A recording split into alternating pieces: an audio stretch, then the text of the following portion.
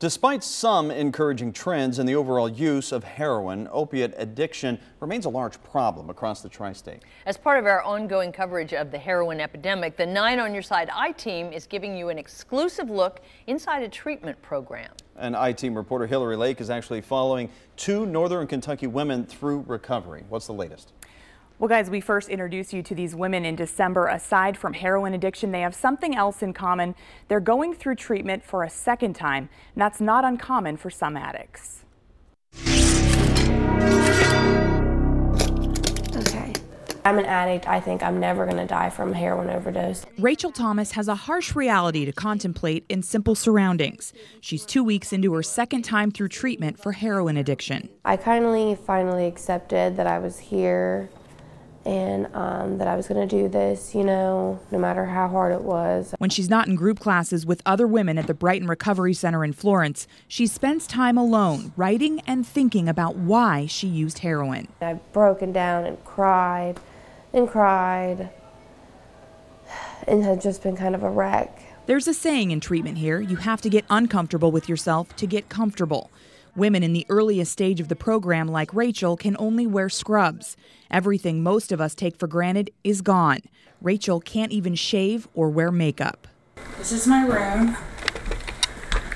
All of our clothes. This is my bed. Jessica Hardy lives in a different part of the house. It's awful, but it's very humbling. So, and we are only allowed to have 62 items of clothes, including socks, belts, purses. She's three months in and has earned back some privileges. I have not had peace of mind in a long time, and just to get my own room, coming from having 15 other roommates and living on a bunk bed, and to this, it's a lot more peacefuler.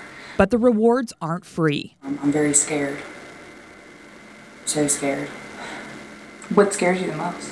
Learning about myself. Jessica's in the second phase of treatment. She's starting to understand herself and face the disease of addiction. I have entitlement issues. I fix, manage, manage and control, power thrust, um, some guilt for my daughter. Jessica and Rachel are also feeling another emotion grief. Friday, I found out my great grandma had passed away. Jessica longs for her baby daughter, who she rarely sees.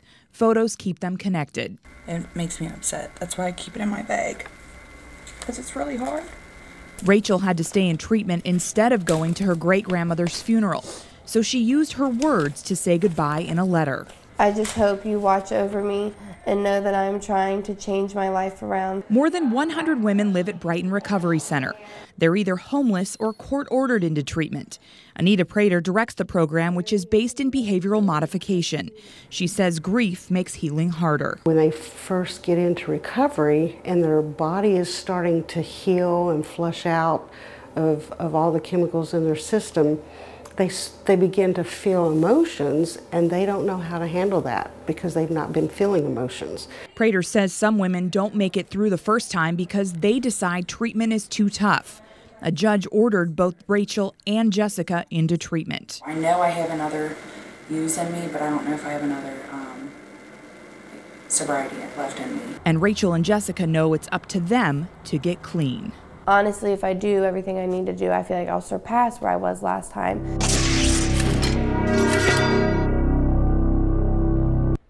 The program director tells me usually when women don't complete the program the first time around, it's because they either choose to leave or they get kicked out because they broke a rule. She says every woman is allowed to get put on a waiting list and come back after 30 days. Back to you, Craig.